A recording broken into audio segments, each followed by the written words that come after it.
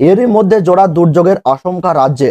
দুরন্ত গতিতে ধেয়ে আসছে জোড়া ঘূর্ণবর্ত, যার নামকরণ করা হয়েছে ঘূর্ণিঝড় তেজ ও আরেকটি নামকরণ করা হয়েছে ঘূর্ণিঝড় বিপর্যয়। এই দুইয়ের জোড়া ফলাই সিঁদুরে মেঘ দেখছেন দুই বাংলার মানুষ। সামান্য কিছুদিন আগেই, অর্থাৎ মে মাসের দ্বিতীয় সপ্তাহে, তাণ্ডব চালিয়েছিল ঘূর্ণিঝড় মকা। এর রেস কাটতে না কাটতেই এবার জোড়া ঘূর্ণিঝড় আছড়ে পড়তে চলেছে দুই বাংলায়। তো এই ঘূর্ণিঝড় কবে, কখন, কোন সময়ে কোন সাগরে তৈরি হয়ে কোন কোন উপকূলে আছড়ে পড়তে চলেছে? আছড়ে পড়ার সময় এই ঘূর্ণিঝড়ের সর্বোচ্চ গতিবেগ কত হতে পারে? কেমন হবে এর প্রাকৃতিক ধ্বংসলীলা? এই নিয়ে কি জানালো এই মাত্র আবহাওয়া দপ্তর? তো তাই কিন্তু আমি আজকে আপনাদেরকে জানিয়ে দেব এই ভিডিওটির মাধ্যমে।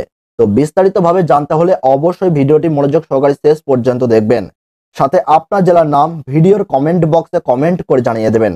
এবং ভিডিওটিতে ছোট্ট একটু লাইক করবেন।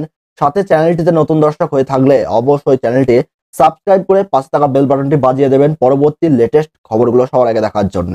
তাহলে চলুন এক নজরে দেখে নেওয়া যাক। ধেয়ে আসছে ঘূর্ণিঝড় তেজ ও ঘূর্ণিঝড় বিপর্যয়। বিশ্বের আবহাওয়া মডেল বলছে, জুনের দ্বিতীয় সপ্তাহে আরব সাগর ও বঙ্গোপসাগরে জোড়া ঘূর্ণিঝড় তৈরি হতে চলেছে। ঘূর্ণিঝড়ের নামকরণ করেছে ভারত। নিম্নচাপটি ঘূর্ণিঝড়ে পরিণত হলে তার নাম হবে তেজ। জানা গিয়েছে আগামী আট থেকে দশই জুনের মধ্যে উপকূল বরাবর তৈরি হওয়ার নিম্নচাপ ঘনীভূত হয়ে ঘূর্ণিঝড় তেজে পরিণত হবে। তবে বাংলায় এই ঘূর্ণিঝড়ের কতটা প্রভাব পড়বে তা এখনও স্পষ্ট নয়। আবহাওয়া দপ্তরের মতে আগামী কয়েকদিনের মধ্যেই এই নিয়ে আভাস পাওয়া যাবে। ভারতের মৌসুম ভবন জানিয়েছে, উত্তর আন্দামান সাগর এবং সংলগ্ন দক্ষিণ মায়ানমার উপকূলে একটি ঘূর্ণবর্ত তৈরি হয়েছে। এই ঘূর্ণবর্ত শক্তি সঞ্চয় করে নিম্নচাপ এবং গভীর নিম্নচাপ হয়ে ঘূর্ণিঝড়ে পরিণত হতে পারে। আট থেকে নয় জুনের মধ্যে এই নিম্নচাপ ঘূর্ণিঝড়ে পরিণত হতে পারে, এমনটাই মনে করছে বিশ্বের আবহাওয়া মডেল। ঘূর্ণিঝড়ে পরিণত হলে এর নাম হবে বিপর্যয়। এই ঘূর্ণিঝড়ের নাম রেখেছে ভারতের প্রতিবেশী দেশ বাংলাদেশ। তবে ঘূর্ণিঝড়ের অভিমুখ কোন দিকে হবে তা এখনও স্পষ্ট বলতে পারছেন না আবহাওয়া আবহাওয়াবিদরা।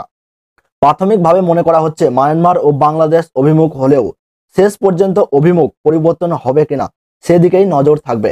অন্যদিকে ঘূর্ণিঝড় তেজ ভারতবর্ষের উপকূলে নাকি পাকিস্তানের উপকূলে আছড়ে পড়বে সেদিকে নজর থাকবে।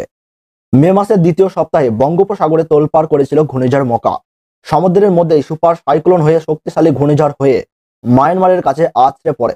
এর প্রভাবে ক্ষতিগ্রস্ত হয় বাংলাদেশ, তবে প্রশাসন আগে থেকেই সতর্ক থাকলেও বড় কোনো প্রভাব পড়েনি পশ্চিমবঙ্গ এবং উড়িষ্যায়। এবার জোড়া ঘূর্ণিঝড়ের ফলায় বাংলায় কি প্রভাব পড়তে চলেছে তা নিয়েই বাড়ছে উত্তেজনা।